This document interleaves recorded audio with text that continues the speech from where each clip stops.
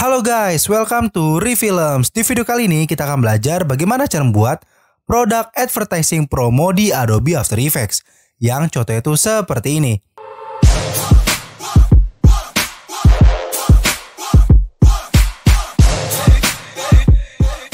Nah, untuk mengikuti tutorial ini kalian perlu mendownload beberapa file yang udah gue siapin di link yang di bagian deskripsi di bawah. Oke, tanpa basa-basi lagi, yuk langsung aja kita ke tutorialnya. Oke, sekarang kita sudah berada di Adobe After Effects. Pertama kita bisa import terlebih dahulu file-file yang kita butuhkan, oke? Jika sudah kita bisa klik di sini untuk buat komposisi baru kita namakan menjadi maincom dengan ukuran 1920 ke 1080. Kemudian kita bisa klik OK. Lalu kita bisa masukkan foto black tersebut ke bagian timeline dan atur scale-nya menjadi 65%.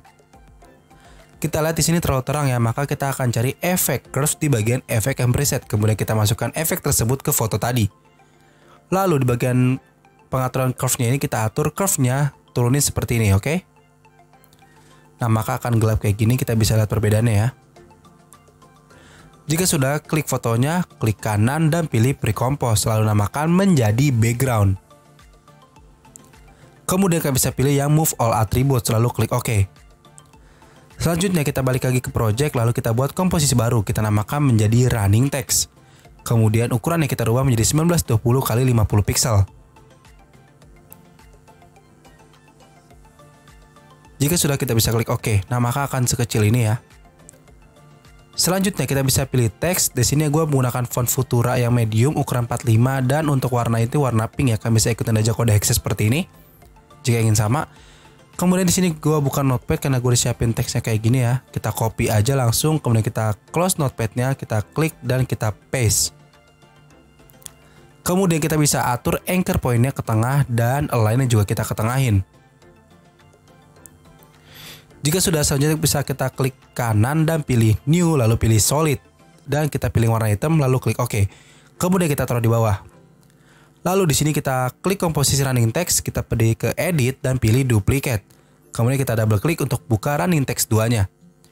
Sekarang kita akan animasikan di running text yang pertama dulu. Kita klik di tulisannya, kita klik P untuk buka position, nyalakan keyframe ya. Kemudian di detik ke 0 kita rubah keyframe menjadi 3777 di bagian posisi. Kemudian kita pindah ke detik ke 10 lalu posisi kita ubah ke 1001. Jadi animasinya itu dari kanan ke kiri seperti ini, oke? Okay? Selanjutnya kita pindah ke running text 2. Kita animasi itu kebalikannya. Jadi kita klik P, buka position, nyalakan keyframe-nya. Di detik ke 0 kita rubah menjadi 1001 dan di detik ke 10 kita rubah menjadi 3777. Maka animasinya akan dari kiri ke kanan seperti ini. Jika sudah kita bisa balik lagi ke maincom dan kita masukkan running text 2 senang running text pertama ke bagian timeline. Lalu atur running text yang pertama align-nya ke atas seperti ini.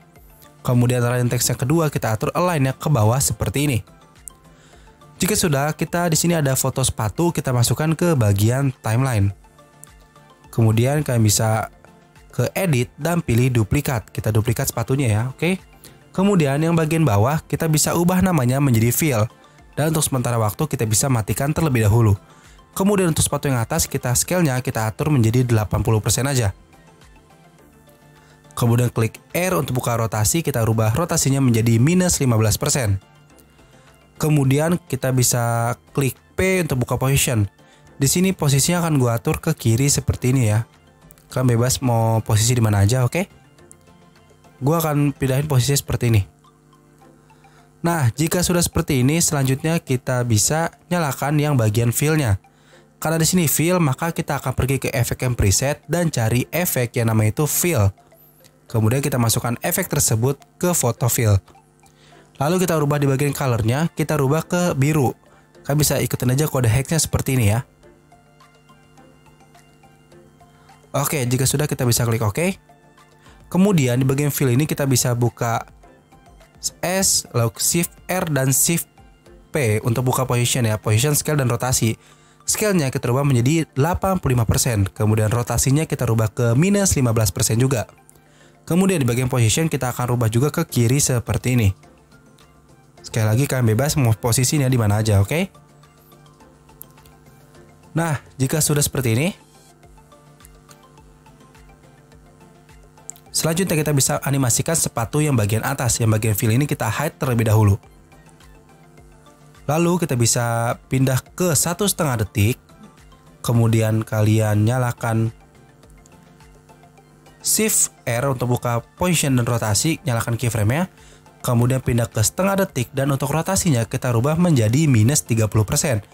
Kemudian untuk posisi kita rubah ke kiri seperti ini ya. Jadi nanti animasi sepatunya itu mulai dari kiri terlebih dahulu. Nah seperti ini. Oke, jika sudah kalian bisa nyalakan blurnya dan nyalakan blur juga di komposisi. Select keyframe-nya F9 untuk easy buka grab editor. Jika tidak seperti ini, kalian bisa klik kanan dan pilih edit speed grab. Kemudian kita atur curve-nya menjadi seperti ini. Oke, jika sudah kayak gini, Selanjutnya di sini akan gue tambahkan efek wiggle di bagian position. Sambil klik alt kalian tekan keyframe di position. Kemudian akan muncul seperti ini dan kalian ketikkan wiggle dalam kurung 2,5 tutup kurung. Nah, sudah seperti ini. Selanjutnya kita bisa pindah ke 140. Kemudian kalian nyalakan yang bagian fill-nya. Kalian buka posisi dan rotasinya. Sama seperti tadi, kalian bisa nyalakan keyframe di bagian posisi dan rotasi. Lalu pindah ke 0040. Dan rotasi sama kita rubah ke minus 30. Kemudian untuk bagian posisi kita rubah juga ke kiri seperti ini. Jadi nanti animasi sama seperti sepatu yang bagian atas tadi ya. Oke, jika dirasa sudah pas, seperti ini. Nah, seperti ini ya. Kita nyalakan blur juga, kita select keyframe ya, F9 untuk as is. Kemudian kita bisa buka grab editor lagi dan atur curve-nya menjadi seperti ini. Sama seperti sepatu yang atas, kita akan tambahkan efek wiggle juga. Sambil klik alt, kalian bisa tekan keyframe di bagian posisi, maka akan muncul bar seperti ini. Dan atur wiggle-nya menjadi 3,5. Oke, seperti ini. Selanjutnya kita bisa ketikkan teks. Di sini gue pakai font yang namanya itu Gilroy. Kemudian kita pilih yang extra bold. Kemudian untuk warnanya sendiri di sini akan berubah ke warna hitam. Kemudian klik OK. Kemudian untuk ukuran akan berubah menjadi 100 pixel aja. Kalau kita bisa ketikkan teks, di sini akan gue ketikkan nama sepatunya itu Nike Air Max. Oke. Ketik seperti ini, kemudian kita bisa klik naik Air Max-nya lalu klik P untuk buka position, kita atur posisi seperti ini ya. Kalian bebas mau naruh teksnya di mana aja dan di sini akan gue taruh di atas seperti ini. Oke. Jika sudah, anchor pointnya bisa ketengahin.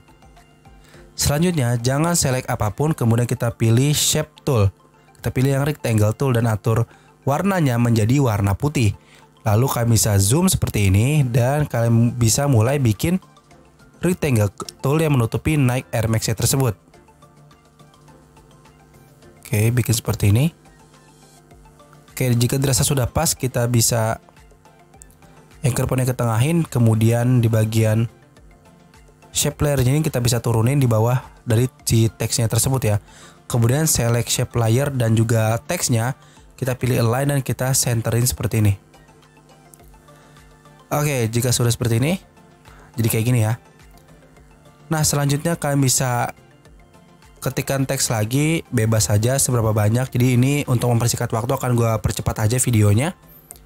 Jadi sini akan gue ketikkan Nike Air Max 270 React dan juga akan gue ketikkan softest serta smoothest.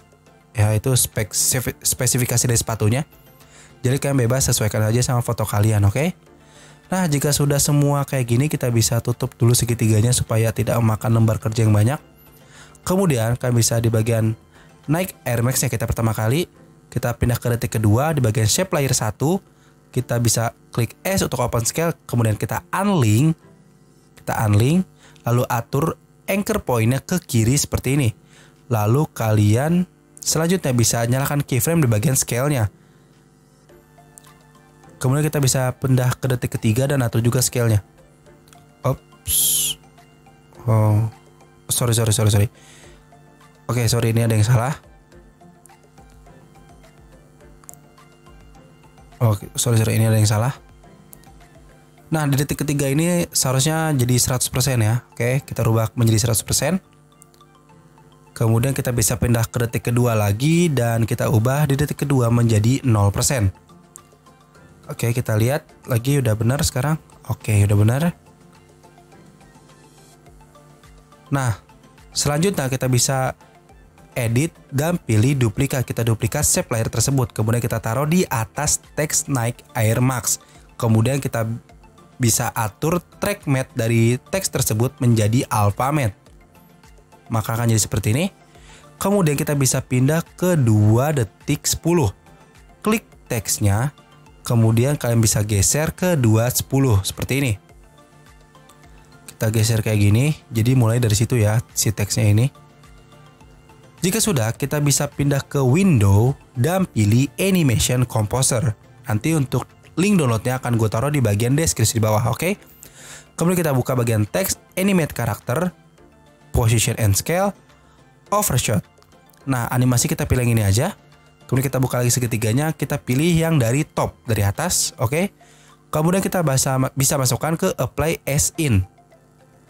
Kita close jika sudah. Kita close juga seketiganya. Kemudian di sini kita geser, di sini ada ada TR in ya, kita bisa lihat di situ ada TR in ya. Kita atur dulu penggarisnya ini ke 310, kemudian atur TR in ya ke 310 juga. Jadi nanti durasinya itu dari 210 ke 310 satu detik aja, oke? Okay? Nah, nanti jadi kayak gini. Sama seperti tadi, di sini akan gue percepat aja karena pada dasarnya sama aja teknik editingnya, tinggal diulang-ulang aja. Jadi untuk persingkat waktu akan gue cepetin aja. Kalian tinggal atur-atur aja posisi di mana, mulai dari keyframe di mana, detiknya berapa, kayak gitu aja. Oke? Okay? Nah, ini kita bisa kita lihat ya. Oke, udah seperti ini. Kemudian kita bisa ketikkan teks yang terakhir lagi. Di sini akan gue ketikkan 80 dolar yaitu harga dari si sepatunya ini ya, 80 dolar. Font masih sama pakai Gilroy dan Extra Bold. Kemudian anchor pointnya ketengahin. Selanjutnya kita bisa atur posisi seperti ini. Dan sekarang kita bisa pilih yang ellipse tool. Kemudian kita ubah warnanya. Oke, di sini gue pakai warna pink kayak gini. Lalu kita buat ellipse tool yang menutupi dari tulisan 80 dolar tersebut. Nah, jika sudah kita bisa anchor point yang ketengahin juga, kemudian kita atur shape layer itu di bawah dari si teksnya. Lalu kita select keduanya dan kita tengahin align-nya. Kita centerin, oke? Okay? Selanjutnya kita bisa klik shape layer 9, pilih ke edit dan pilih duplicate lagi. Kemudian kita tarik ke bawah shape layer 10, kita klik shape layer 10-nya lalu ubah warnanya menjadi warna hitam.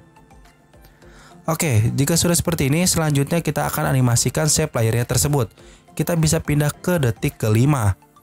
Di detik kelima kita akan animasikan di shape layer 10-nya. Oke, jadi shape layer 9 untuk sementara waktu gue akan hide nanti di sini akan gue namakan menjadi pink terlebih dahulu supaya gampang ya. Dan shape layer 10 akan gue namakan menjadi hitam. Untuk yang pink ini akan gue hide terlebih dahulu. Jadi kita akan fokus ke yang hitam aja. Di bagian yang hitam kita klik S open scale atur scale-nya menjadi 0%. Nyalakan keyframe ya. Kemudian kita bisa pindah ke detik ke-6 dan atur scale-nya menjadi 100%. Lalu kalian bisa nyalakan blur-nya. Kemudian select keyframe-nya F9 untuk easy ease. Kemudian buka graph editor dan atur curve-nya menjadi seperti ini. Oke, jika sudah seperti ini kita bisa pindah ke ke 530, kemudian kita nyalakan lagi yang bagian pink-nya. Kita nyalakan juga blur-nya, klik S untuk open scale, atur juga scale-nya menjadi 0%. Kemudian kalian bisa pindah ke 630 dan atur scale-nya menjadi 100%. Oke, seperti ini. Select keyframe-nya F9 untuk easy ease, buka grab editor, atur curve-nya menjadi seperti ini. Oke, jika sudah kita bisa klik yang pink, pilih ke edit dan pilih duplicate. Kemudian kita taruh di paling atas. Lalu kita bisa ubah track matte dari 80 dolarnya menjadi alpha matte. Oke, jika sudah maka hasilnya akan menjadi seperti ini. Nah guys, tadi adalah bagaimana cara membuat produk advertising promo di Adobe After Effects. Gimana? Mudah kan? Kalau kalian memiliki pertanyaan yang lainnya atau ingin request sesuatu, kalian bisa komen di kolom komentar bawah. Atau kalian bisa juga tanya-tanya gue di media sosial udah gue taruh linknya di bagian deskripsi di bawah. Oke, sekian untuk hari ini. Always be creative.